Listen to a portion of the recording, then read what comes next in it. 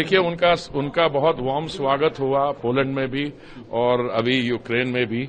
और जो माननीय प्रधानमंत्री जी का कॉल है this is a time for peace this is a time to use diplomacy ये जो मैसेज है ये बहुत अच्छी तरह रेजोनेट करेगा।